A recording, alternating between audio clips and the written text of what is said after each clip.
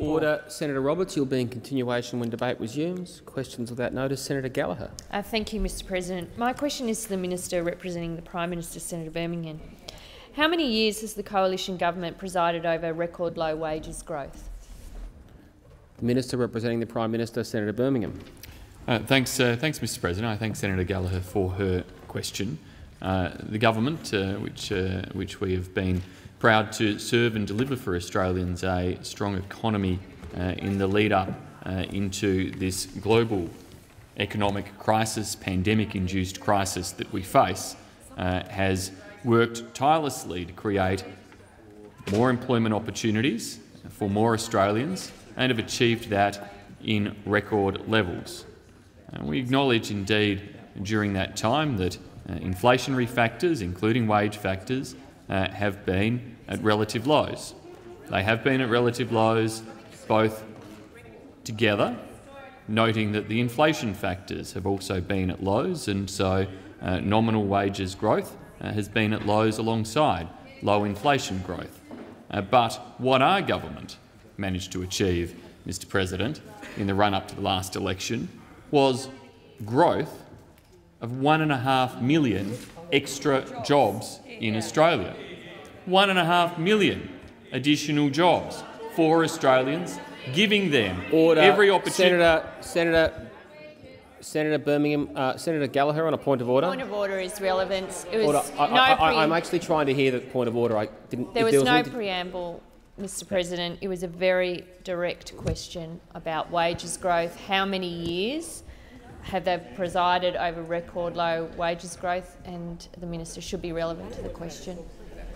Um, I can't instruct a minister how to answer a question, nor the terms in which he can answer it. When the minister, uh, I've allowed you to remind the senator, minister of the question, Senator Gallagher, when the minister is talking about wages growth, and I would contend that includes being able to glance across, as he just was, issues of the labour market, as long as he relates it to wages growth. He can't be, I cannot instruct him how to answer a question or the terms in which to answer it, but talking about wages growth is directly relevant to the question. Senator Wong. If that were the case, we would agree, but he's not. He's talking about and jobs I, and other economic parameters. And, and a glancing, if I may, my submission is a glancing reference uh, doesn't then justify a range of material which is simply not relevant to the question. Okay. Um, in my view, Senator Wong, the minister was, to use the colloquial phrase, glancing across. I, I heard him turn to this just around the one-minute mark, so less than 15 seconds in a two-minute answer.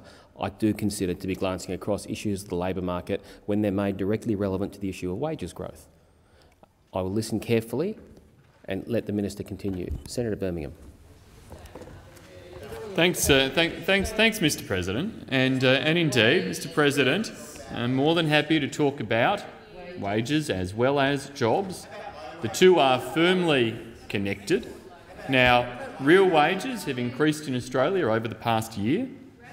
Wages price index growth of 1.4 per cent has in outpaced inflation of 0.7 per cent. I was pointing out earlier in the answer, Mr President, in addressing this, is that inflation rates have been at incredible lows. And so with inflation low, Order. unsurprisingly, Mr President, so too have associated wages rates. But, Mr President, what we have done and what achieved the economic strength for Australia was achieve record jobs growth, Order. which of Senator course Birmingham, feeds into time wage for the pressures. answer has expired. Senator Gallagher, a supplementary question. Thank you, Mr President. Yes, I do have a supplementary. On Tuesday, the RBA governor warned of, and I quote, subdued increases in wages and prices over coming years. Will Australian workers have to endure a decade of low wages growth under this government? Senator, B oh, sorry. When will wages growth return to trend? My apologies. Senator Birmingham. Well, Mr President, it's important, and I thank Senator Gallagher for at least um, using uh, all aspects there of a quote recognising that the RBA governor was noting anticipated low prices growth as well.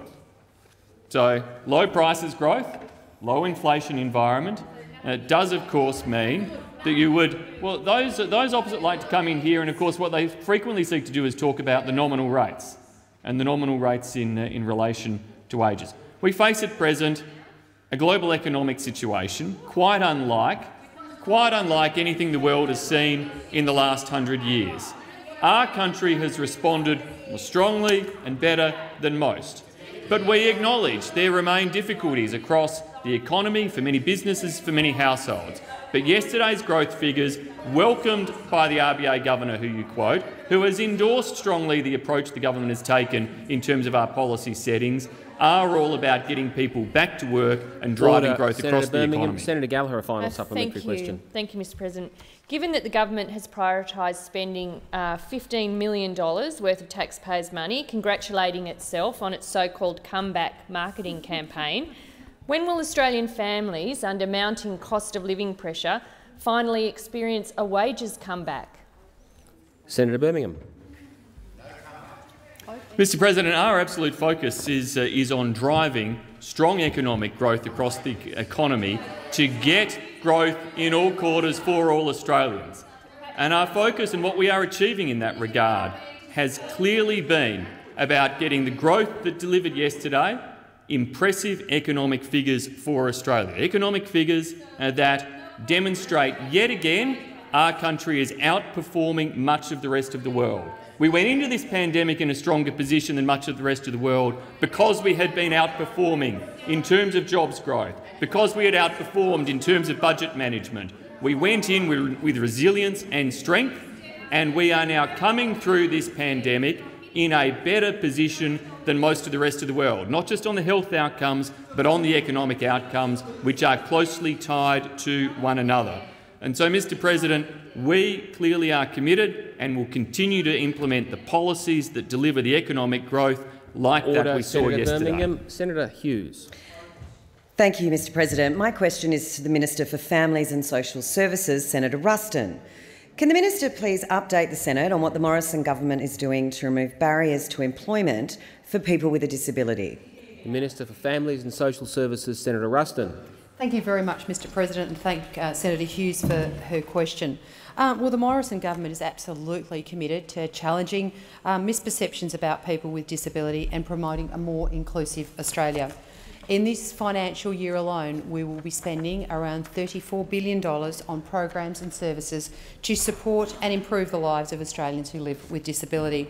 And today, being International Day uh, of people with disability, it's timely to reflect on the contribution of the more than 4.4 million Australians who live with disability. It's about celebrating their lives, their achievements and their contributions. It's also an important opportunity to, to mark the contributions that people with disability make to the workforce uh, and to focus our attention on making sure that we change the attitudes of our employers so that they understand that people with disability can be a really strong asset in so many businesses around our country.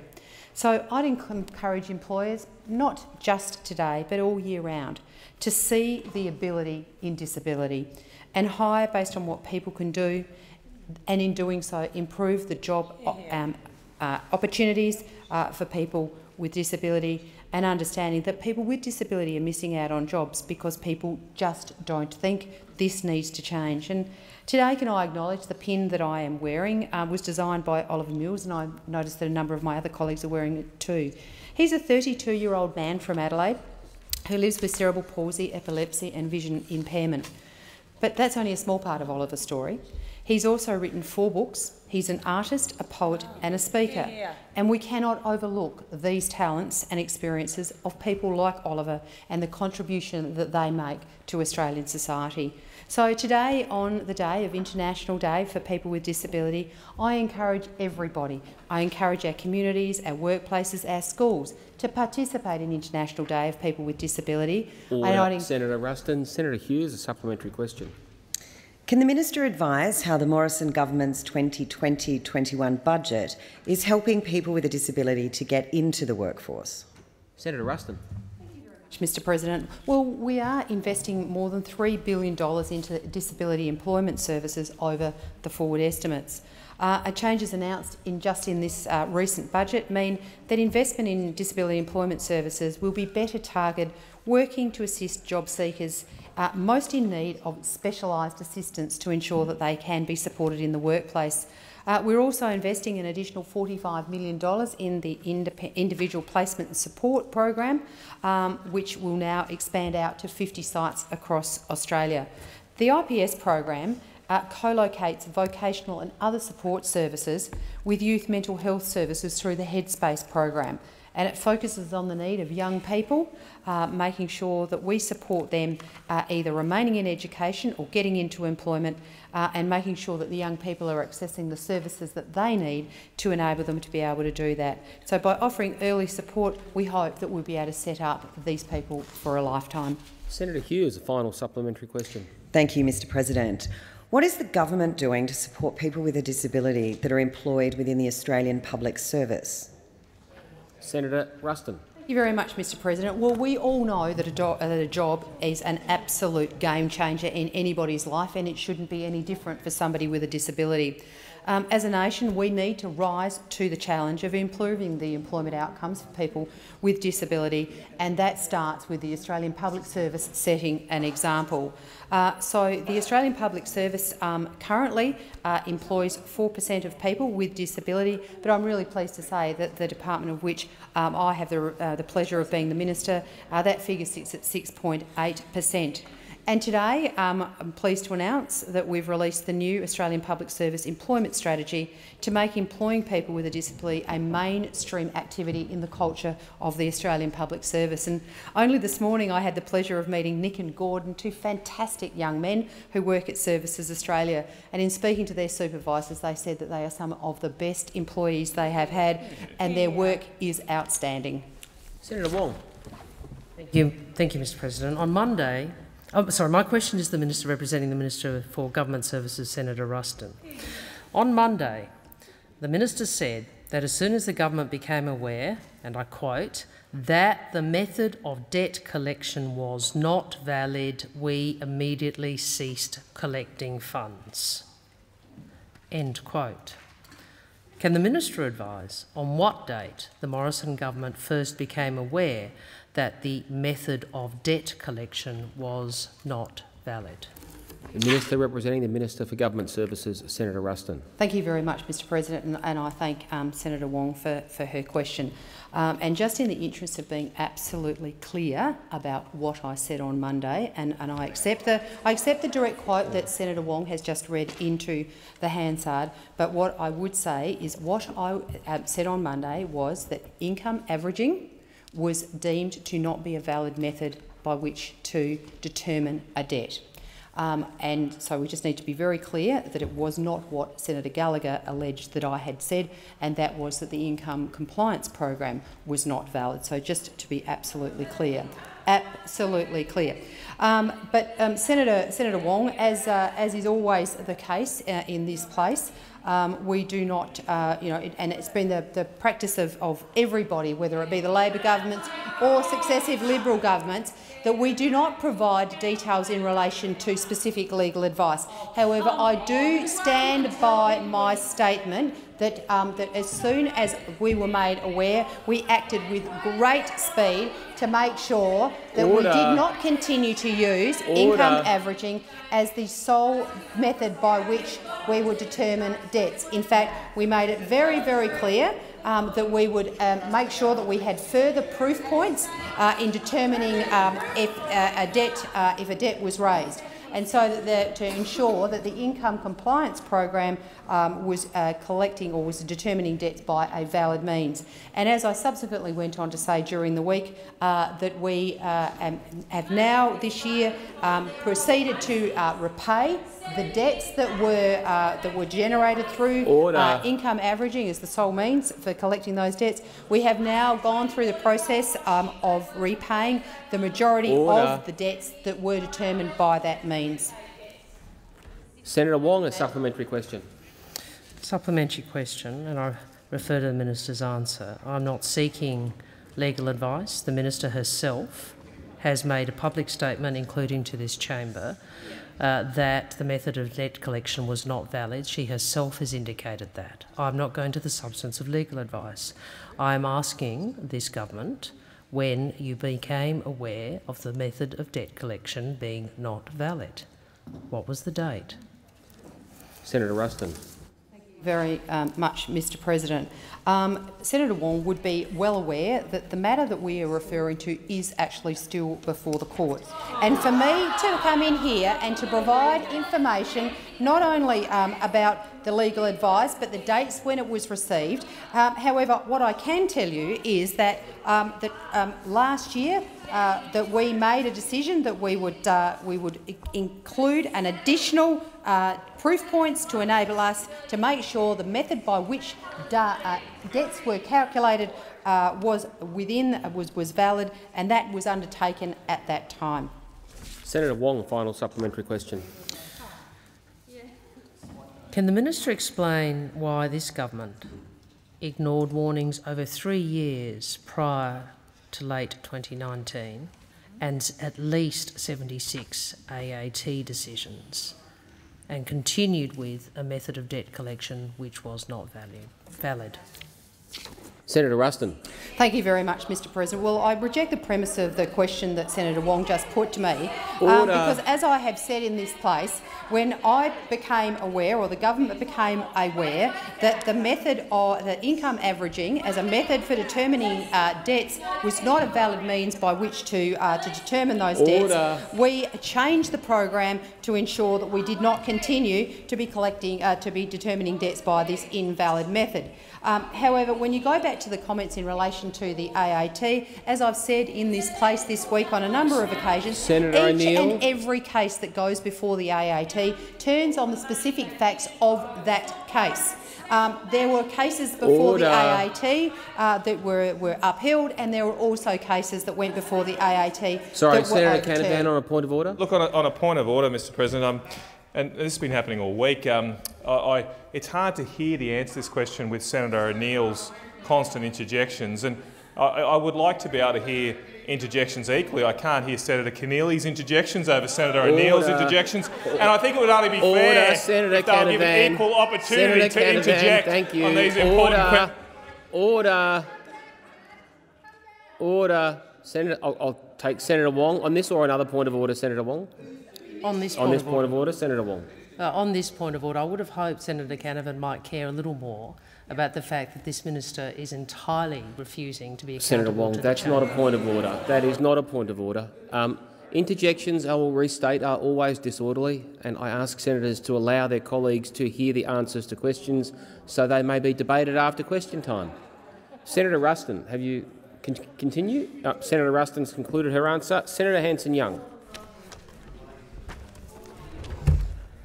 Thank you, Mr President. My question is to the Minister representing the Prime Minister, Senator Birmingham. Today, the UN Secretary-General, Antonio Guterres, called on the world to make peace with nature and to address the climate emergency. He said, quote, the state of the planet is broken and humanity is waging a war on nature. Secretary-General Guterres has called on nations to be more ambitious. The planet is already sick.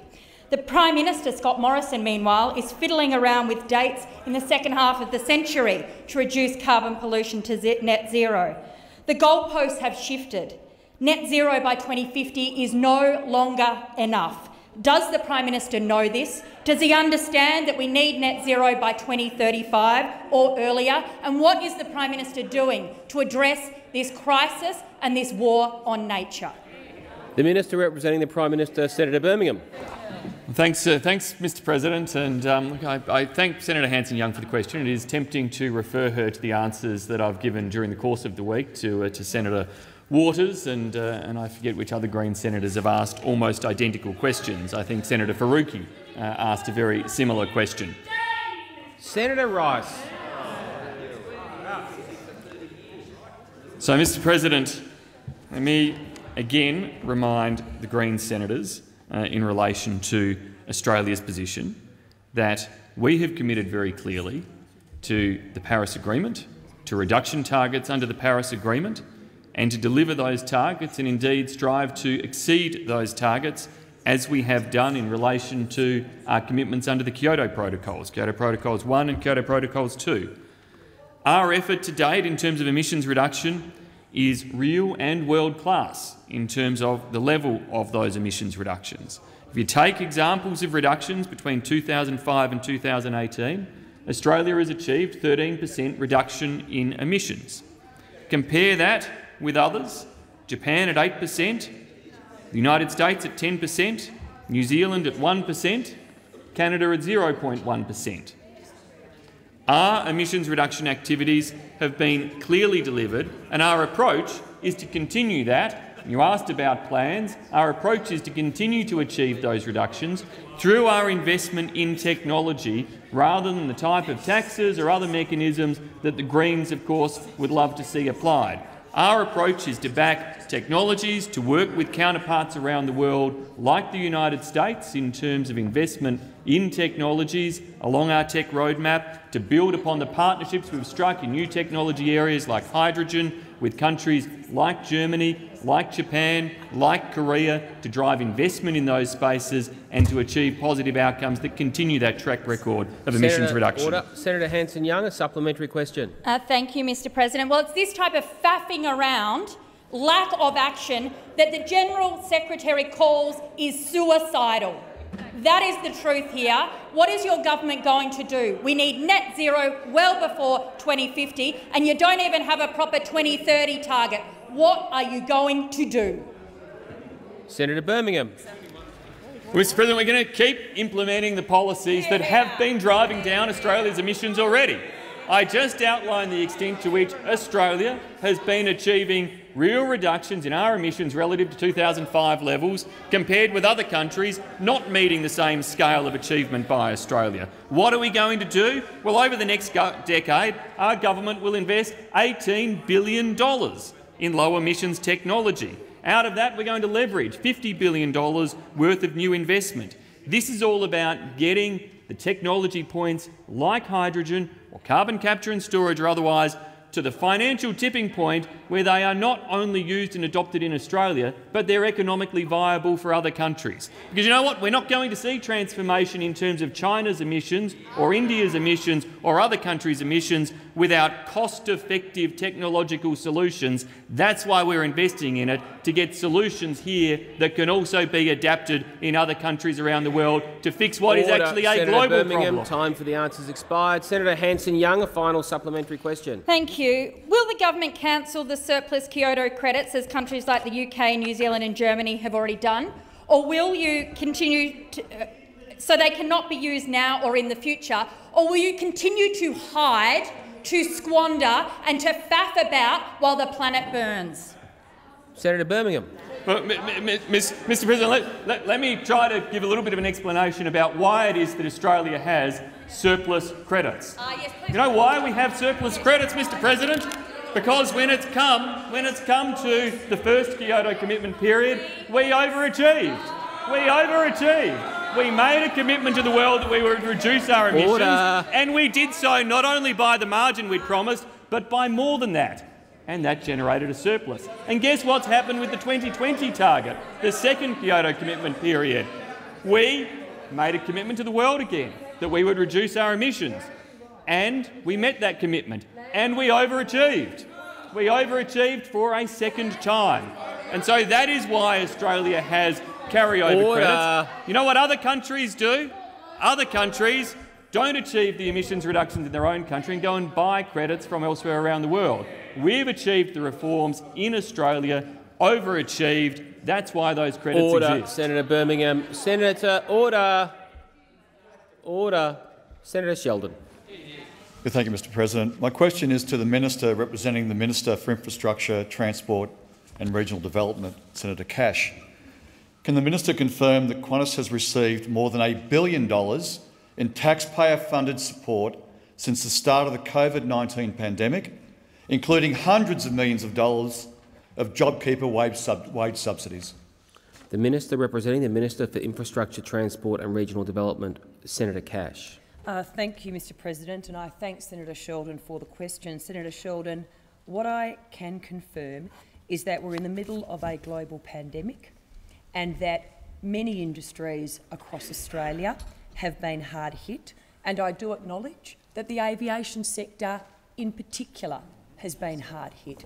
And as a result of that, you are correct. The government has provided industries and employers with support, whether it's by way of JobKeeper or the plethora of other policies that we have put in place. I am also, like you, Senator Sheldon, and like my colleagues on the government side of the chamber, we are saddened with any job losses as a result of the global pandemic, and including those job losses that have recently been announced by Qantas. Without a doubt, without a doubt, it has been a tough year for the aviation sector. It has been a tough year and a long year. And in particular, as you know, Senator Sheldon, because of the fact, because of the fact that our international borders remain closed and our domestic borders are only now really reopening up and they will continue to reopening, are we seeing more flights in the air? But Senator Sheldon, our government, we have taken extensive action, as you know, to support the aviation sector to the extent possible, bearing in mind, bearing in mind the extent of the global pandemic. And in fact, Senator Sheldon, you would be aware that support to Australia's aviation industry now totals more than $2.7 billion. But, like any industry or in Australia and employers, you are right. We have, as a government, provided them Order, Senator support. Cash. Senator Sheldon, a supplementary question. Despite receiving more than $1 billion in taxpayer support, Qantas has outsourced a further 2,000 jobs. Does the government support this decision by Qantas? Senator Cash. Uh, well, Senator Sheldon, again, the government's been very clear from day one. Any job lost as a result of COVID-19 is an absolute tragedy. Order. But this is a decision, as you know, it is a commercial decision for Qantas and Qantas are entitled to make those decisions. But, as I've also already said, I have some statistics, Senator Sheldon, in relation to stand-ups and stand-downs. This actually shows the effect of the global pandemic on the aviation industry, but also what we're seeing. As borders reopen, aviation companies are able to bring, as you know, their staff Order. back Senator on. Wong on a point of order. Uh, uh, actually, the question related to outsourcing. I'd ask the uh, commercial order. decision. Okay. Um, have you concluded your answer, Senator Cash? Senator Sheldon, the final supplementary question. Since March, the government has allowed Virgin to fall into administration while giving Rex millions of dollars in untied grants, enabling them to expand their routes, given some aviation companies access to JobKeeper while abandoning others like dnata workers, and sat back while Qantas has sacked a further 2,000 workers. What does the minister have to say to the Qantas workers in the gallery and the building today who have lost their jobs? Senator Cash. Uh, well, Senator Sheldon, as I have said, as the Prime Minister said, as my colleagues have said, any job lost as a result of COVID-19 is absolutely devastating.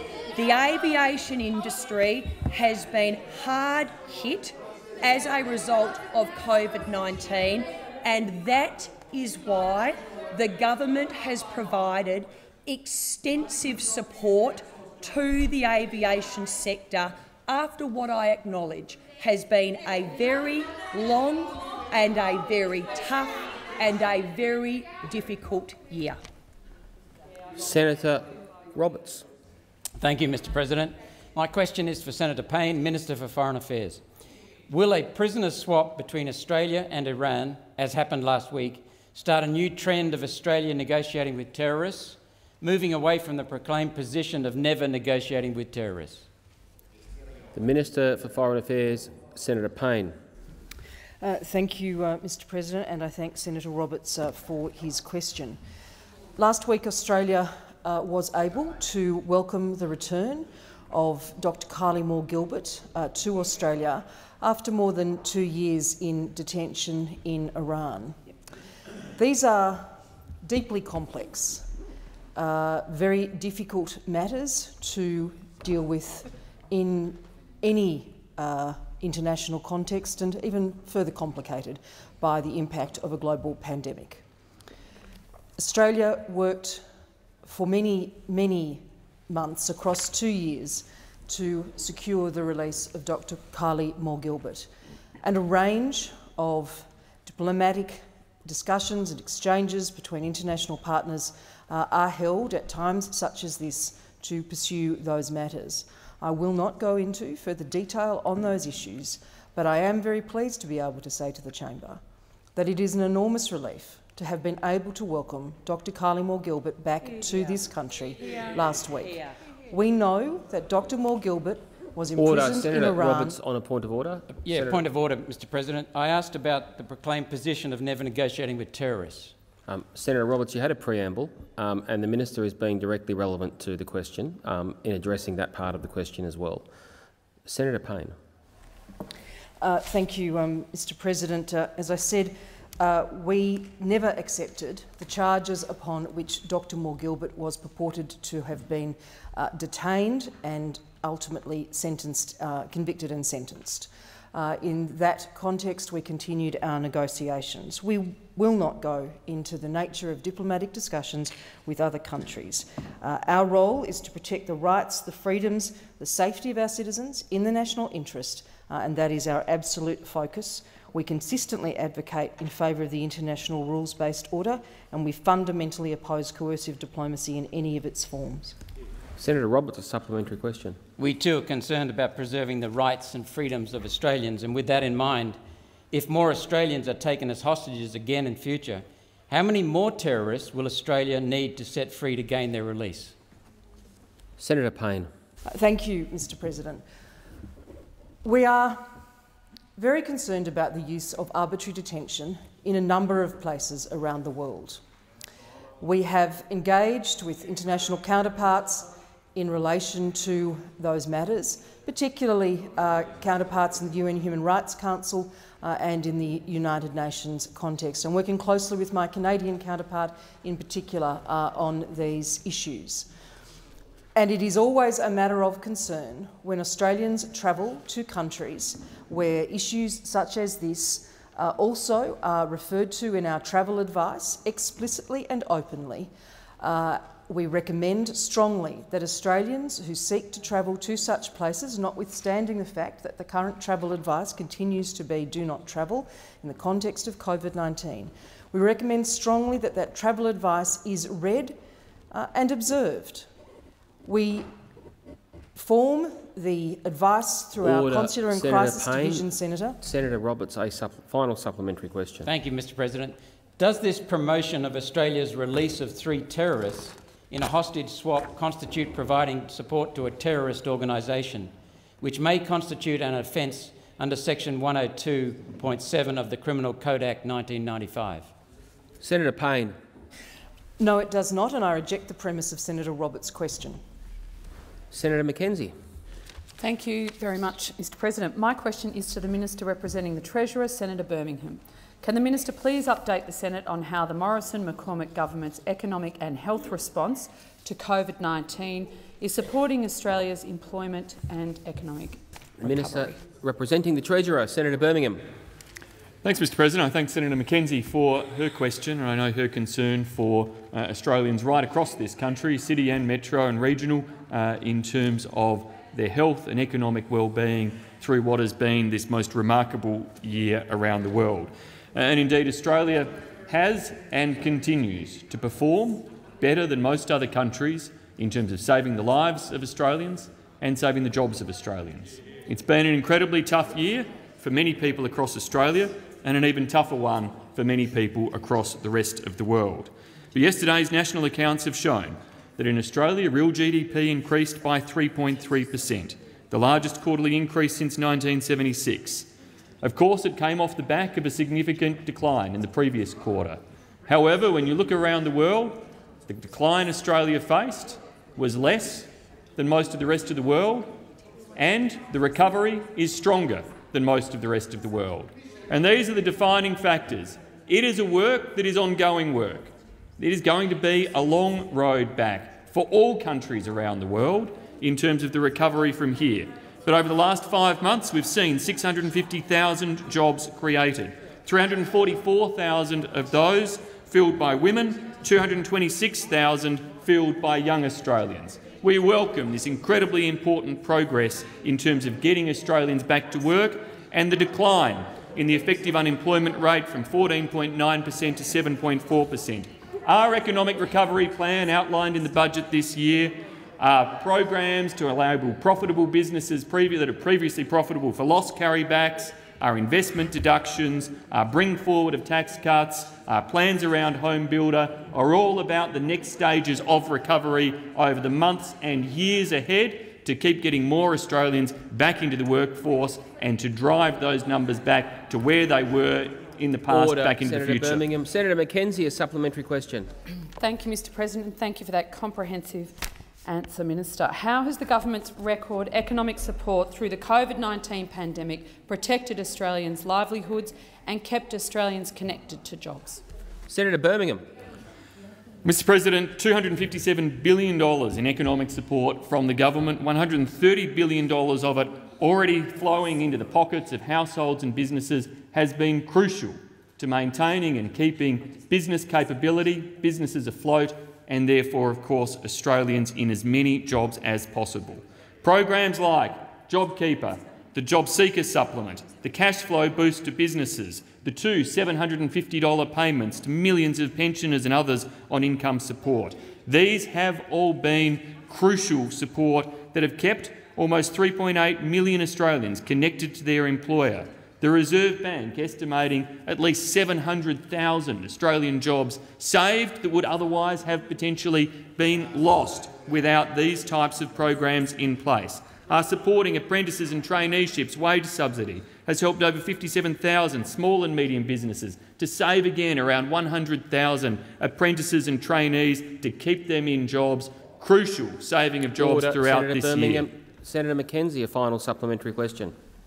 Thank you, uh, Mr President. As Australia enters a new phase of our COVID-19 recovery, how will our Liberal and Nationals government support Australians back into work, back into training and empower local communities, including in regional areas, to deliver tailored responses to our communities? Senator Birmingham. Mr President, so many of our programs have been supporting right across the economy and the country, but our local jobs program is putting boots on the ground across 25 regions targeting particular support uh, for employment, funding local jobs plans in collaboration with local stakeholders, employers and training organisations to help make sure the jobs growth in those sectors and regions is as strong as we are trying to drive right across the whole country. Our JobMaker hiring credit benefits right across the country, supporting 450,000 Australia, young Australians back into work uh, boosting apprenticeship commencements, wage subsidy will help support the training of a new generation of 100,000 apprentices and trainees across Australia, but especially in regional and rural Australia, giving these apprenticeships and young Australians maximum opportunity to get a job in the regional areas, to stay in those regions, to contribute to their growth and their opportunity, and ultimately to generate even more jobs into Order. the future. Senator Birmingham. Senator McKim. Thank you, President. My question is to the Minister representing the Minister for Home Affairs, Senator Cash. Senator, I refer to the generous offer from the New Zealand Prime Minister to resettle refugees and people seeking asylum who've been detained by your government on Manus Island and Nauru. After over seven years of misery, suffering and uncertainty for thousands of innocent people who have committed no crime, Will your government finally accept this kind offer from Prime Minister Ardern and give people the freedom and safety they so desperately need and deserve? And if not, why not? The Minister representing the Minister for Home Affairs, Senator Cash. Uh, thank you, Mr President. Uh, and Senator McKim, uh, you did mention uh, Nauru and Manus Island. And uh, just for your benefit, because clearly you've forgotten why uh, people are on Nauru and Manus Island. So just to, just, to, just to remind you, Senator McKim, it is because you supported the failed border protection policies of the former Labor government. You see, colleagues, when we came point into of order, Senator um, Senator McKim on a point of order. Uh, well, predictably, its relevance, uh, President, and and yes, the word Nauru was in my question, but uh, the history, the sordid and shameful history of Australia's offshore detention policies is not relevant in any way. Um, I order. I'll make the rulings if people don't mind. Um, on the point of order, a small amount of historic context is directly relevant. It would not be appropriate for it to form the bulk of the answer to the question, nor a substantive part of the answer to the question. But I think it is reasonable to have some historic context, but to be directly relevant, it must, direct, it must directly address a substantive part of the question. So you've reminded the Minister, Senator McKim, and I call the Minister to continue her answer. And thank you, Mr President. And as I was saying, the only reason Senator McKim is able to ask his question today is because he supported the failed policies of the former Labor government. Senator McKim, in relation to, though, the New Zealand refugee resettlement offer, um, the Prime Minister and the Minister for Home Affairs have made it very clear we appreciate the offer from the New Zealand government to resettle refugees. However, as you know, Senator McKim, we remain focused on completing the United States resettlement arrangement? You clearly know the answer. You're sitting there shaking your head. The US arrangement, Senator McKim, for your benefit, is actually progressing well. It is actually progressing well, with 876 refugees resettled to date and further departures expected in the coming weeks and months. Senator McKim, a supplementary question. Thank you, President. Minister, why is it that uh, your government insists that the US arrangement must run its course before engaging with the New Zealand government in response to their offer. Why must people wait longer than the seven and a half years that they have already been detained? Has your government not heard, and does it not have the capacity to walk and chew gum at the same time? Senator Cash. Uh, well, unfortunately, Senator McKim, in answer to your question, and colleagues, I'm going to have to go to the uh, the statement or the question by McKim, does your government have uh, the ability to walk and chew gum at the same time? Well, the answer is yes, Senator McKim, because clearly we showed that when we came into office and we actually stopped, we stopped the boats coming. Because you see, Senator McKim, you supported failed policies. And as such, when we came into government, we had to clean up the mess the mess that you created. Just let me remind you, Senator McKim, 50,000 people arriving on more than 800 boats, 1,200 lives, Senator Hanson-Young will remember this well, 1,200 lives tragically lost at sea. Over 8,000 children were detained whilst Labor uh, were in office uh, in government. In, in, July 2013, just a reminder, Senator McKim, 10,201 people in detention including Senator McKim. Order, Senator Cash. Time for the answer children. has expired. Senator McKim, a final yes, supplementary um, Thank goodness for that, uh, President. Um, Minister, I note the findings of the Australian Human Rights Commission's report released today, which notes grave concerns for the physical and mental health of the 196 refugees and people seeking asylum who were transferred to Australia from Papua New Guinea and Nauru for medical reasons. When will you finally give these people freedom and safety and end their prolonged and heartbreaking suffering? Senator Cash. Uh, well, thank you, Mr President. Well, the Morrison government, we, we will never apologise for protect, protecting Australia's borders and restoring integrity to our borders. We will never apologise for that, Senator McKim. In relation to the report that you refer to, uh, you'd be aware that the Home Affairs Department has responded to it um, and has agreed with nine of the Commission's recommendations. But, Senator McKim, what you also, what you also failed uh, to advise the Senate was the Commission importantly notes that the reduction in the number of children in detention uh, which peaked at almost 2,000. Under those opposite, that, that, the Commission actually acknowledges that reduction. Um, Mr President, this is also what Senator McKim has failed to tell the Senate. Um, overall, we've reduced the number of people in detention by 85 per cent, more than 10,000 under your alliance to just 1,500 now, and more than 70 per cent of those in detention, Senator McKim, have a criminal record. Senator Keneally. Thank you very much, Mr President. My question is to the Minister for Foreign Affairs, Senator Payne. On the 18th of September, the Prime Minister promised that 26,000 stranded Australians registered with his government at that time that they'd be home by Christmas. Can the Minister confirm that in the 76 days since the Prime Minister made that promise, only 14,000 people on that list have made it home? The Minister for Foreign Affairs, Senator Payne. Thank you very much, uh, Mr President, and uh, thank you, Senator Keneally, for uh, the question. Mr President, uh, the challenges for many Australians overseas are well appreciated by the government. This is a very difficult time and the impact of the pandemic uh, is not, as it would be easy to say or think, uh, past. It is in fact uh, a matter with which many countries around the world continue to grapple with at the most difficult level now. So the health and the safety of Australians abroad and at home has been the government's number one priority in these difficult and unprecedented times. We are very aware that many Australians face hardship overseas because of the global travel restrictions that are resulting from the COVID-19 pandemic. And we are helping vulnerable Australians, Mr President, by facilitating access to flights to Australia by providing financial assistance where required through the hardship program which uh, we announced some months ago, by continuing to provide a professional and responsive consular assistance to those in need.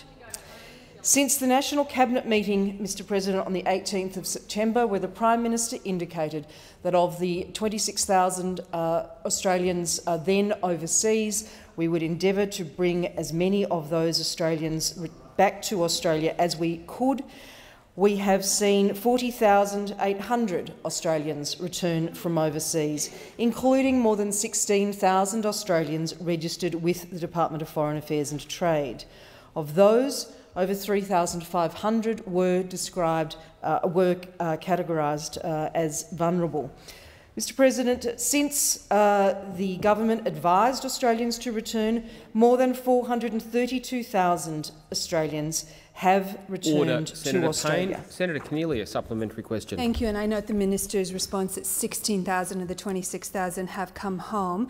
Given that the Prime Minister's only got seven days for the 10,000 stranded Australians who were registered with DFAT on the 18th of September to be with their families on Christmas Day, what hope do, the, do those 10,000 stranded Australians have that they'll be able to celebrate Christmas with their families in Australia? Senator Payne. Thank you very much, Mr President. And let me just clarify, Senator, I said that since uh, the National Cabinet on the 18th of September, over 40,800 have returned from overseas, including more than 16,000 Australians registered with DFAT. That is not necessarily specifically of the 26,200. There will be a component of the 26,200 plus others. Uh, I will get the senator. I will get the senator that uh, that other number. Mr. President. I know that Senator Keneally uh, and those opposite uh, have uh, been uh, discussing uh, these issues for some time. In fact, I understand Senator Keneally's uh, um, interview with Mr Fordham this morning referred to this. And it is clear that the, those opposite do understand the process of national caps and the management of the quarantine and the number of arrivals that that restricts us in dealing with in Australia. And we are working closely with the states and territories in relation to that, uh, Mr President, because Order. we know what Senator happens Payne, when quarantine time for goes the wrong. answer has expired. Senator Keneally, a final supplementary question. Thank you. Dave and Kate Jeffries have been stranded with their young son, son, Mitchell in Canada since their return flights were cancelled in March. They've had their travel plans disrupted and their flights cancelled multiple times. Will the Prime Minister deliver on his promise to the Jeffries family to have them home by Christmas, or will he leave them behind? Senator Payne. Thank you very much, Mr President. We are doing everything that we are able to do within the flights available, the quarantine places available within the caps to bring as many Australians home as we can, Order. as many as we can. Order. And since that meeting on the 18th of September, 40,800 Australians have returned from overseas. I very much hope, Mr President, that families such as the one that Senator Keneally has referred to are able to do that within and we will continue to provide them with appropriate consular support through this process because it is a very difficult situation, Mr President. We are dealing with, as I have remarked before and as I know others have remarked, a global pandemic which has impacted our ability to, re to return Australians from overseas. It's impacted by flights, it's impacted by quarantine space. We have opened Howard Springs. We have, have accommodated 500 Australians in uh, returning Australians Senator in Howard time Springs for the as part of that expired. process. Senator Bragg. Thank you, Mr President. My question is to the Minister representing the Minister for Health, Senator Cash. Can the Minister please update the Senate on a global search for a COVID-19 vaccine and how it will impact Australia's health response?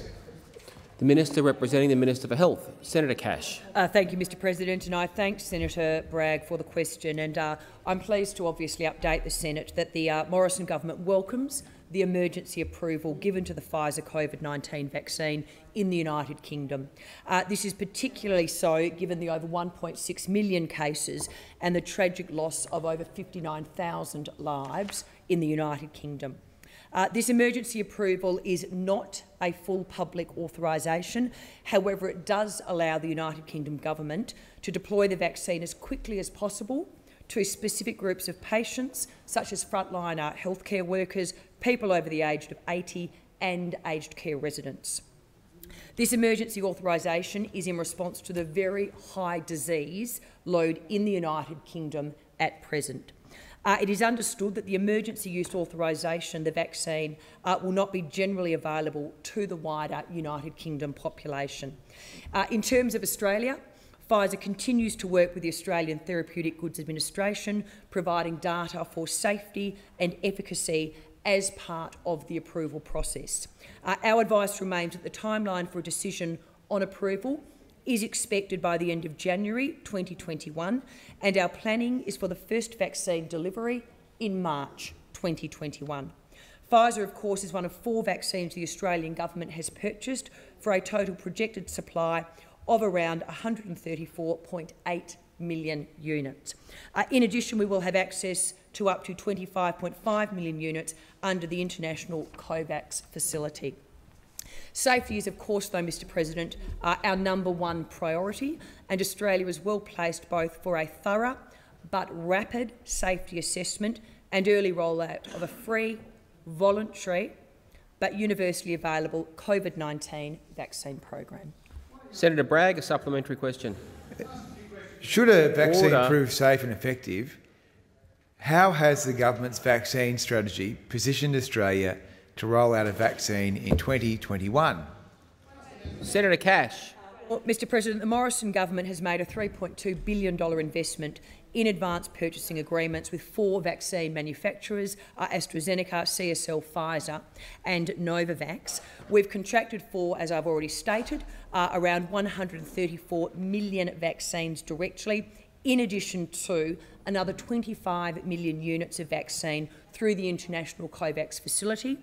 This means Australia has secured enough supply to vaccinate Australia many times over, subject to success and approvals. Our medical experts have identified the class of vaccines that we need. The vaccines we have secured amongst the most advanced, and it is increasingly likely that all of our contracted vaccines are on the pathway to being successful, safe and effective. Australia actually has high vaccination rates, uh, with over 94% of Australian five-year-olds being vaccinated each quarter this year. Order. Australia, Mr Senator President, Cash. Senator well Bragg, a final supplementary question. Thank you. How will these investments continue to support Australia's unique response to the COVID-19 pandemic and how is Australia positioned compared to other countries to face the challenges of COVID-19? Senator Cash. Uh, well, Mr President, more than $18.5 billion has been committed to support the emergency COVID-19 health response to the pandemic. Uh, when we do look at, though, the situation here in Australia, compared to other nations, uh, we are performing remarkably well. Just in terms of a global update, uh, there have been over 63 million confirmed cases of COVID-19 globally and over 1.4 million deaths in total. In Australia, We've had 27,923 confirmed cases uh, and sadly 908 uh, deaths. Um, whilst we can never be complacent, the systems we have in place have resulted in lower loss of life, lower transmission rates and lower economic impacts than in most other countries. Senator Green. Thank you, Mr President. My question is to the Minister for Youth, Senator Colbeck. How many young Australians are unemployed? The Minister for Youth and Sport, Senator uh, Minister for Youth, Senator Colbeck. Thank, thank you, Mr. President. Um, unfortunately, the um, the youth unemployment rate is too too high at the moment, at 15.6 per cent, Mr. President, and and so, Mr. President, as uh, we have done through the uh, budget process, through the period of COVID-19, Mr President, uh, we have put in significant measures, Mr President, we have put in significant me measures to support, to support young Australians. In fact, Mr President, uh, it's, it's interesting that the Labor, the Labor Party were a few, only a few weeks ago criticising the government for the range of measures that we have put in place to support young Australians to get back into work as the government and, and, as the economy recovers from COVID-19, Mr President. So significant order. resources Senator Colbeck, I have Senator Wong, on, Senator Green on a point of order. Uh, point of order, Mr President. Um, my question didn't have a preamble and it was uh, directed at how many young Australians are unemployed. Uh, that's a question about a figure, not a rate of unemployment. Uh, with respect, I don't think it's within the, my ability to um, decree that a rate is not directly relevant. Um, there's a, a time to debate questions. The minister, the minister is entitled to order. The minister is entitled to answer in that form, and it was a very specific question, and I will maintain uh, a tight test of direct relevance because of that. As long as the minister is talking about youth unemployment, I do think that is directly relevant. Senator Colbeck. Mr. President, and, and, and I believe I was being directly relevant to the question because I actually quoted the youth unemployment rate of 15.6 per cent, Mr President, as part of my response to the question. Uh, Mr President, uh, and, I, and I've also said that the youth unemployment rate in this country is too high. And, and the work that this government continues to do to support young Australians to, to, uh, to get back into work because we are concerned that young people who stay out of work too long have significant lifelong effects with respect to uh, their futures, their career, their financial circumstances. So, Mr President, so we have made, through our budget processes and through the pandemic, in supporting people with uh, JobKeeper, in supporting young people with JobSeeker to keep them in, connected to their workplaces, and then to support them to gain new jobs through our job maker programs, uh, order. our su Senator, apprenticeship support Senator programs, Colbeck, Mr President. Senator Wong on a point of order. Uh, direct relevance. The minister's been asked for the number. I understand he's now being given the brief. Perhaps you could advise the chamber. Uh, as I said before, Senator Wong, I think answering in this form, I cannot say that is not directly relevant to the question. What I'm being asked to do is to rule on the substance of an answer, which I cannot do. While the minister is talking about issues directly related to youth unemployment, I do think that is directly relevant. Senator Colbeck. Thank you, Mr President. And so this government will continue to do everything that it can to get the 337,200 young Australians who are unemployed back into work, and we'll continue to do that. Order. Senator, Senator Green, a supplementary question. Thank you, Mr President. I do have a supplementary, but I can assist the Minister. The latest ABS data reveals that 337,000 young Australians are unemployed. How many of these... order. Order. How, sorry, oh, how, oh, Sen sorry order. Senator, Senator, Senators on my right, Senator Wong, one of your colleagues is asking the question. I heard multiple colleagues on my right. Is one of your colleagues answering asking the question. After you read out the number, could you? I'll let you continue the question if you could go, start from after you read the number again, Senator Green. How many of these young Australians are unemployed today as a result of the Morrison government's deliberate decision to exclude them from JobKeeper? Senator Colbeck. Mr President, this, this government has worked assiduously through COVID-19, through the development and the implementation of JobKeeper, through the development and the implementation of JobSeeker, to assist young Australians to uh, stay in work where they can, connected to their jobs, to support them through the COVID-19 pandemic. And Mr President, unfortunately the youth unemployment rate over the, the last period has increased. Uh, that's why we put in place measures, Mr President, to assist young people to get work, to, to attract young people, to attract employers, to employ young people in apprenticeships. Mr President, and only in last sitting fortnight, Mr President, the opposition were criticising us for focusing on young people and employment as a part of our budgetary strategy, Mr President, but we will continue to do that because we know the negative effects on young Australians if they stay out of work too long. We will continue to support them into new jobs Order, and, Senator and Colbeck. Senator Green, a final supplementary question. Thank you, Mr President. 337,000 young Australians are unemployed and more are expected to join them in the coming months. How long will it take for youth unemployment to return to pre-crisis levels? Senator Colbeck. Mr, Mr President, as the economy continues to grow off the back of the, the release of the border lockdowns that have been occurring, we saw a 3.3 per cent growth in in the economy over the in the recent figures that came came forward last week, Mr. President.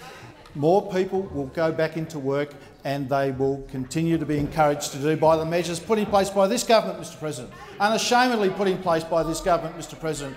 Measures that the opposition has criticised us for, measures that the opposition have opposed in this place, Mr. President. The youth measures that we put in place, criticised by the opposition, uh, opposed in this place by the, the opposition, Mr President, uh, but we are proud to support younger Australians and employers of young Australians to bring young people back to work. Senator Birmingham. I ask that further questions be placed on the notice paper, please.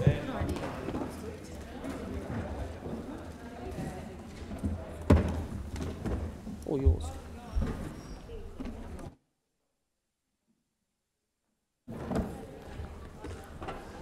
Ah, Senator Sheldon. I, I rise to take note of the answer given by Senator Cash to the question I asked. Yesterday's national account figures are nothing to crow about. Our GDP is nowhere close to where it was a year, year ago. Investment is down. Consumption is still down. Wages still stagnant. The Labor share of income has fallen to record lows. And there are still 2.4 million Australians either unemployed or underemployed. And the Morrison government is out congratulating themselves.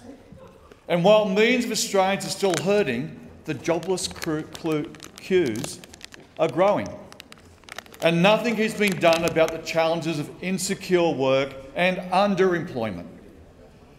It is clear for many Australians what looks like a recovery on paper will still look like a recession. Just ask the 2,000 newly outsourced workers at Qantas. 2,000 Australian men and women with families right across Australia now without work because of the heartless decisions of the Qantas board under the government's watch and the government's subsidies. Only a few hours ago, I stood with Qantas worker, workers like Sean. Sean works for Qantas as a ground crew at Canberra Airport and he has a wife and three daughters, three young daughters. He said, How am I to tell my three girls that you can work hard, but you can be replaced by a company that will pay people less? And this is happening on your watch, the government's watch, and with Australians' taxpayers' money. No accountability, no control, no responsibility, to these companies and their actions that they're taking. You are abandoning hard-working Australians. Is this the economy that we want in Australia? These are jobs that will be go to the lowest common denominator, to companies who pay the lowest wages, jobs that will go to companies with lower conditions. The workers at Qantas will have to beg for their old jobs at lower rates and lower conditions. Because why? Because Alan Joyce, the CEO's corporate bastardry, doesn't care about the workers that made the company the spirit of Australia. This is quite obviously not the Australian way. But if losing your job at an outsourced company isn't enough of a kick in the teeth, Alan Joyce and the board of Qantas have done this plan with the implicit backing of the government. Qantas has received more than $800 million in government support in tax relief and JobKeeper payments. All of it taxpayer money. Much of it the taxes of many of thousands of Qantas workers to keep the airline alive, to keep it flying, to keep these jobs secure. Instead, when Alan Joyce and the board chose to abandon these workers, they did so taking Morrison's money and running for it. They did it with the Prime Minister not saying a word. The Prime Minister and the government have abandoned these workers to lower pay and lower conditions all the while patting themselves on the back that we are technically out of a recession. The government is crowing about comeback. Well, these Qantas workers want a comeback too. They want to come back to their jobs at the same rates and conditions they worked hard to earn. The road to economy, to a better economy and recovery is getting longer and longer every day that the Morrison government ignores the catastrophe in the aviation industry. First, they let Virgin fail, leaving thousands of workers without jobs and the corporate raiders to pick through the scraps. Then they abandoned the workers at dnata, retrospectively denying them JobKeeper with a cruel stroke of a pen. A mistake that the Treasurer could fix this afternoon with just another stroke of that pen and now the workers of Qantas, more than 2,000 everyday hard-working Australians abandoned by this government. Only a few weeks ago, this chamber passed a motion calling on Alan Joyce and Qantas to stop this madness. Of course, did they listen or did they care? No. Is this the future economy in Australia? One where businesses take from the public purse in one hand and with the other sign away thousands of jobs without a thought to the cost to their workforce and fellow Australians.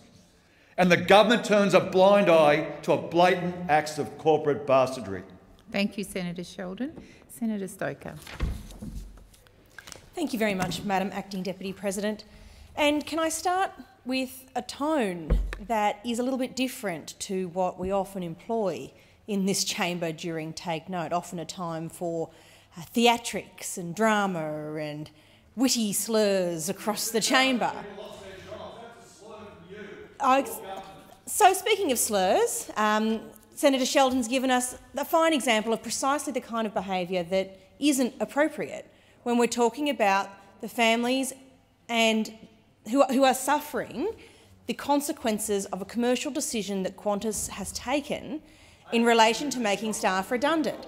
Now, it's important um, and I notice that Senator Sheldon is walking out of the room in in Senator a debate Stoker, that he uh, he order, pretends. Or, Senator he pretends, Stoker, may I remind you that during this time of remote participation, the president did ask senators not to reference whether particular senators were in the room or not. Right.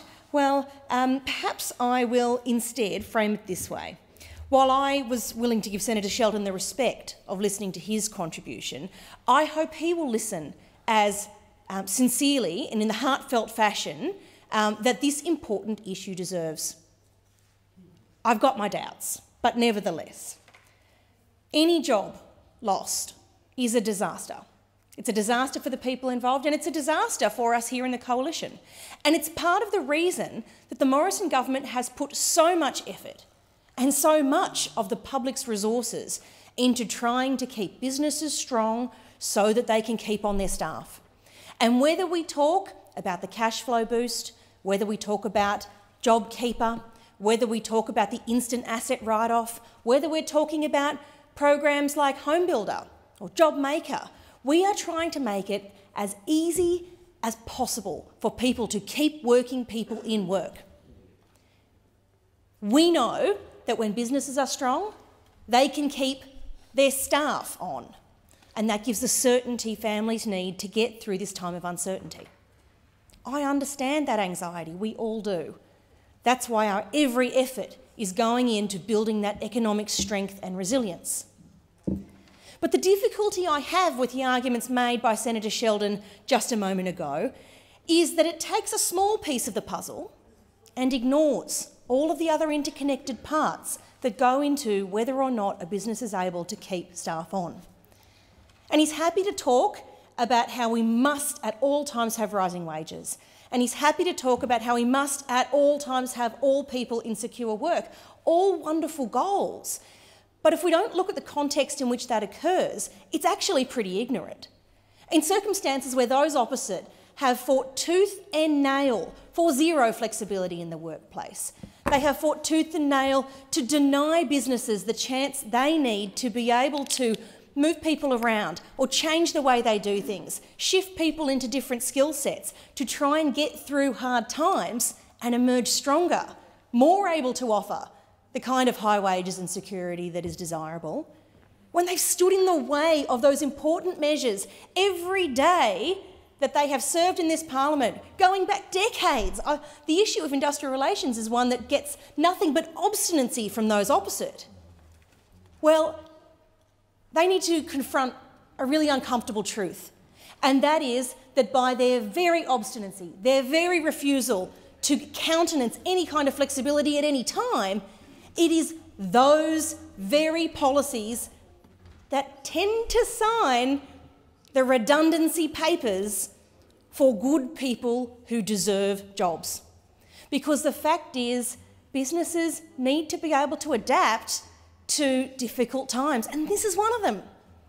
The failure to adapt, the failure to provide a business that's struggling to cope with it with the ability to shift gears, to survive hard times, that is what ends the opportunity for vulnerable people like those who are in the gallery to keep on in their jobs.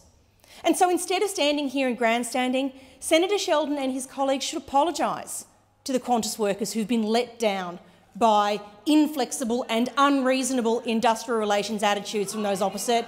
And I call upon those opposite to get into, um, to get into a mental space where they confront the reality of this difficult market for aviation, the difficult market we all face in COVID, and start to take a Team Australia approach because the prospects of business survival are actually compatible with the positive prospects of working people. Thank you, Senator Stoker. Senator Sterle. Thank you, Madam Deputy President. Well, I've got to tell you, I've heard some uh, contributions in this joint. That was one of the worst. And I'll tell you why, Senator Stoker, no, seriously, before you start slurring this side of the chamber, I'll throw a challenge out to you, through you, if I may. How many enterprise agreements I've negotiated over the years, how many negotiations I entered into as not only a delegate as a long distance owner driver, but also as union organiser in 28 years on the job. How many men or grown men, Senator Stoker, have you had in your office on Friday night bursting into tears when they found their job go down the road? So how dare you how dare you use that language? How dare you try to mislead those that may be listening or reading and the Qantas workers that this side of the chamber need to apologise for standing up for working men and women? That is one of the worst contributions, and I will debate you in every city, every town, every yard, every shop floor in this nation, and you will not win. You will not win. You are so mischievous Order. the way you dare try and insinuate that the Qantas workers' wages was the reason they got the big A. Why, they didn't even get a meeting or a letter. You know how they got the sack? Are you aware, Senator Stoker, because you're so well informed? No, you've Senator got no Sterle, idea. I just remind you to make your uh, remarks to the chair. Thank Sure, you. And through I the remind chair. other senators Do you know? You have no idea they got an SMS. Now, before we start talking about the disgraceful rates of pay that Qantas workers demand, they were negotiated over the years. They were negotiated by the workers on one side, represented by their unions, and by management on the other side. You know why? Because I've been in the room for a number of them. Qantas EBA Mark III, Qantas EBA Mark IV. They weren't, there, there was no gun to their head, Qantas, they did it. But you see, Senator Stoker, you need to understand, these jobs are still there. Your government has thrown taxpayers' dollars out like confetti to Qantas, 800 million for JobKeeper, over a billion dollars all up. Your government, and you know what Qantas are doing? They're giving this. Oh, I nearly did that. I won't do that. Sorry, Chair. They're giving you this, right? This is what they're saying to you. Thank you very much. Because we're not only going to get rid of the workers, we want their jobs to come back with uh, companies that will pay not even Australian standards. They won't pay the superannuation guarantee charges that we are seeking. They will fight like hell. And you make it sound like Qantas are going broke. Guess what, Senator Stoker?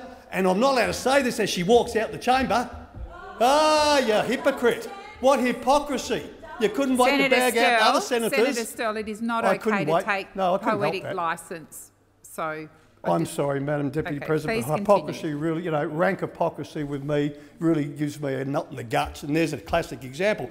Now, Qantas, Madam Deputy President, have actually said they're going to be in the black in two months.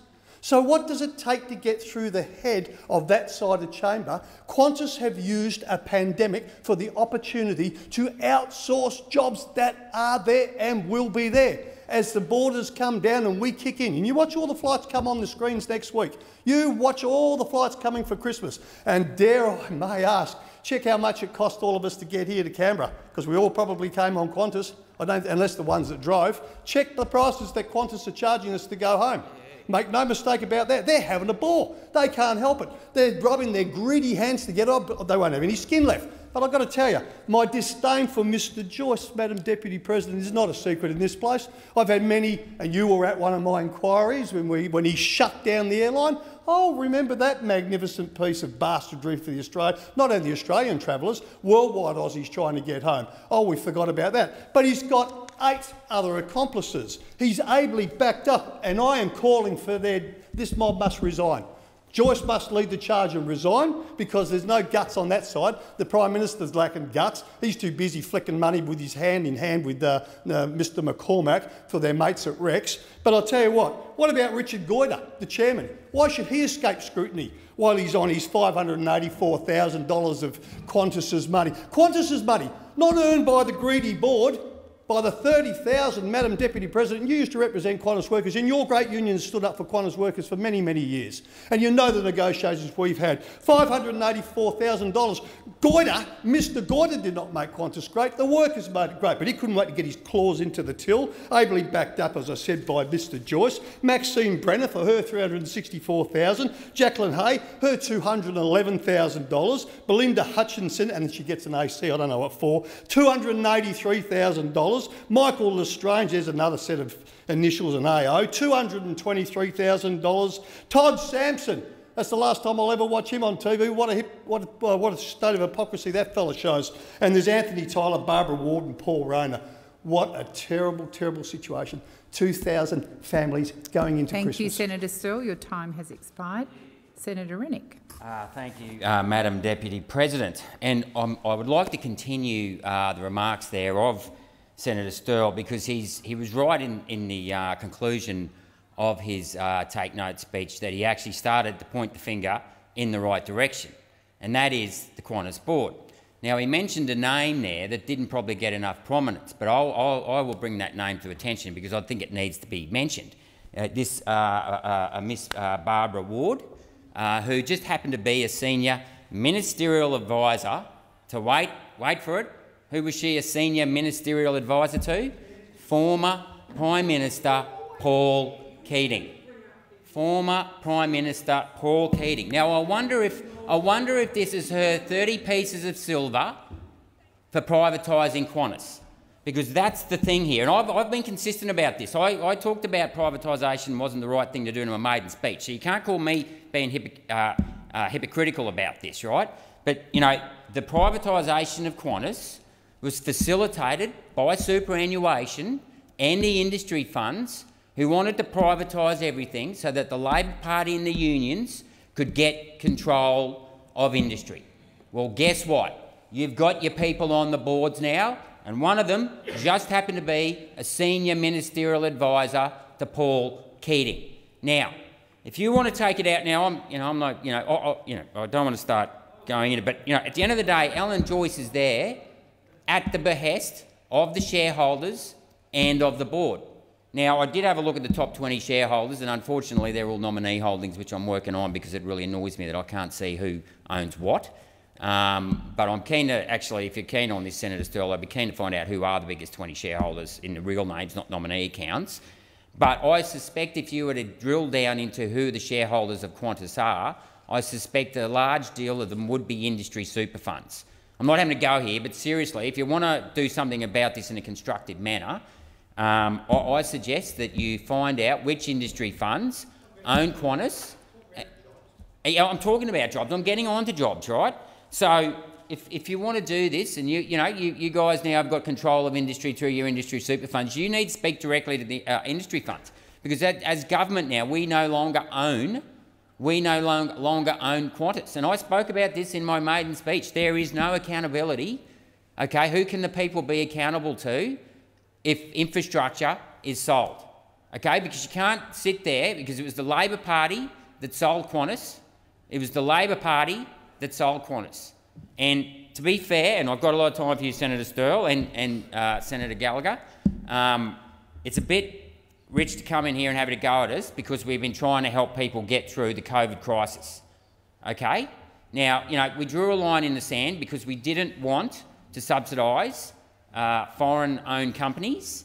Um, and, you know, look, I, have been actively trying to get Qantas to relocate to Queensland so that it's cheaper, the costs are cheaper. It's cheaper to live in Queensland. You know, it was started in Queensland. It's not the New South Wales and Northern Territory Air Service, it's the Queensland and Northern Ter Territory Air Service. And the first time I met Alan Joyce, I said, when are you taking Qantas back home? Because that's where it belongs. And let me tell you, if it's back in Queensland, it'll be a lot cheaper to run. It'll be a lot cheaper to run. And we should also bring home QBE as well. Um, so I, I, I totally empathise with the fact that these workers have been outsourced. I hate outsourcing, and if you actually read uh, chapter 12 of Machiavelli's The Prince, it says never outsource. Never use mercenaries, never use auxiliaries. And I've always subscribed to that. In my own work experience, whenever we outsource, it always ended up uh, in a terrible situation. However, what, what I will rebut in this take note is the fact that the government doesn't care about the welfare of working class Australians, of working class Australians. And that is why today we stood up and we were happily to, happy to push back on what Labor seemed to think we shouldn't count those carbon credits that were earned fair and square, fair and square by the Australian workers, particularly the agricultural sector and particularly southwest Queensland, who, as I mentioned yesterday, is doing it tough because we're locking up mulga paddocks. And I tell you what, your old mate Barry O'Sullivan would be, you know, uh, choking on his soup if he knew that, you know, we were what we were doing to great towns like Charleville and Quilpie and Longreach. You know, the home, Longreach, I should add, the home of Qantas. Um, so before we get, you know, start argy-barging for the sake of argy-barge, I just asked to reflect on this. Someone owns those, uh, owns Qantas. Go to the shareholders, go to the people who control the company, control the board, and I agree with you on Todd Sampson. I've got no idea what's he doing now. I don't know how this bloke got on there. Um, uh, and, and let's try and find a solution together. Thank you. Thank you, Senator Rennick. Senator Green. Thank you. Today I got the chance to meet with Qantas workers uh, here in Parliament House and um, I asked them about what they usually do for Christmas. They um, are going to have a very different Christmas this year. Uh, usually on Christmas Day they go to work. They go to work so that other people can get home, see their families, spend Christmas with their families. But this Christmas, they are looking down the barrel of losing the jobs that they have had for decades. They found out that they would be losing their jobs through an SMS. A TV screen came up with an automated message and told them that a decision had been made not to cut their job because the work didn't need to be done anymore, but to outsource their job to another company, to another worker. And I asked them, was there someone there to take your questions, to listen to you, to talk about these concerns, to tell you why this decision had been made? And there wasn't. There wasn't anyone at that company that was willing to stand up and listen to the concerns of workers. They left the room. So that's why we're here today talking about this decision and talking about it in reference to the decisions that the federal government has made in regards to the aviation sector. Because nobody here is denying that the aviation sector has had a difficult time through this pandemic. Nobody is denying that. Nobody is denying that, and Labor senators on this side of the chamber have been in here since the start of this pandemic, calling for support from this government for our aviation sector. But what we are saying is that if you are going to deliver $800 million of taxpayer funding to a company, to Qantas, then why would you give that money with no strings attached? why would you just hand over this amount of support, the support that was greatly needed to make sure that people could continue to travel and that those jobs could be saved? Why would you do that and make that decision without telling workers that this funding would save their job? Because it hasn't. All of this support that this company has taken from the federal government with no strings attached because what we know is that these jobs are being outsourced, they are not being cut. The company has made a decision to make these jobs less secure, to make sure that these people can't unionise, don't have annual leave, probably won't know even when their shifts are. They've had 10 years of loyal service to a company, and let's face it, to Australians, because they have been the ones getting you home when you need to go home for Christmas, making sure that you can spend time with your family, getting you there safely, getting you there safely because these workers care about safety. But this outsourcing decision will make sure that the people who stand up for safe conditions at aviation won't have the same job security that they have at Qantas. So, yes, we are asking the government, is that acceptable? Do you support that decision? And they can't say that they do. They couldn't possibly say that they do, because if they did, they would have to admit that they gave this, this company billions, hundreds, $800 million of support, of support without thinking to attach a condition that this company didn't outsource jobs didn't outsource jobs. And I just want to make sure that those opposite, because they crow a lot about supporting regional jobs, that they know that this decision will result in 50 jobs being cut from the Cairns airport in regional Queensland. 50 jobs from an, from an economy, from a community that has already suffered enough. Already suffered enough. These jobs will become more insecure. And this comes after previous, previous redundancies resulted in about 90 jobs being lost from the Cairns airport. As I said, no one is denying that this has been a difficult time. But when these, when these uh, workers come here and when they rally outside MP's office, all they've got is basic denials that this government is prepared to do the tough thing and the hard thing to stand up for their jobs that's Thank all you, they're Senator asking Green. you to do. Your time has expired. So the question is that the motion as, motion as moved by Senator Sheldon to take note of answers be agreed to. Those of that opinion say aye. Against, I believe the ayes have it. Senator Hanson-Young. Uh, thank you, Madam uh, Deputy President. I rise uh, to take note of the answers from uh, Senator Birmingham, uh, representing the Prime Minister in this place today. Uh, the answers that uh, he attempted to give in relation to my questions. Of course, today uh, we've seen the Secretary General, uh, Antonio, Antonio Sorry. Today, we've seen from the Secretary General of the UN, Antonio Guterres, a very dear and very sobering warning of the situation that the world faces right now. The Secretary General, Guterres, has told the world that we need to lift our ambition urgently, quickly, and seriously if we are to tackle the collapse of biodiversity and the collapse of the climate before things really do get too late. He says that this is an epic policy test, but that ultimately this is a moral test. He says that if we continue with the denial that action does not need to be taken urgently, that we can push things off to the latter half of this century, that we are risking suicide that it would be suicidal to continue to deny the actions science tells us we need to take. Secretary Guterres has called for countries to take more action and be more ambitious in relation to our 2030 uh, emission reduction targets.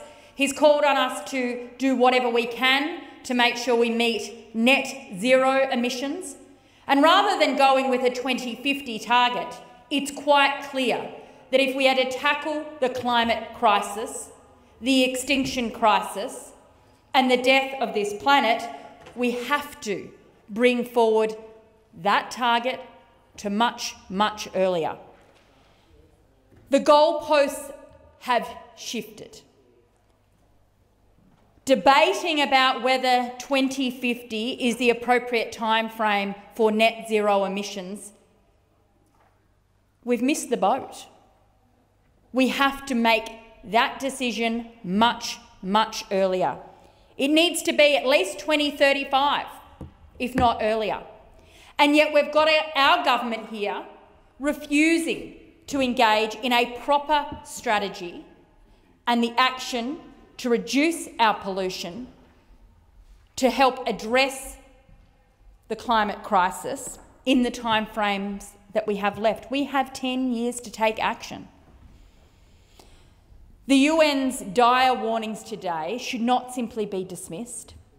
And in fact, what we're seeing now is that countries right around the world are focusing their minds, sharpening their action, and are forcing countries like Australia to justify our ignorance. There is nowhere left to hide. We've just had, of course, the very clear message sent from President elect Biden that we need to come to the UN conference next year in Glasgow with a much more ambitious attempt, commitment and action to tackle climate change, to reduce carbon pollution. We now have the head of the UN saying that if we don't do this, we risk the death of the planet. He says that the state of the planet is broken. Talks about the impact on food security,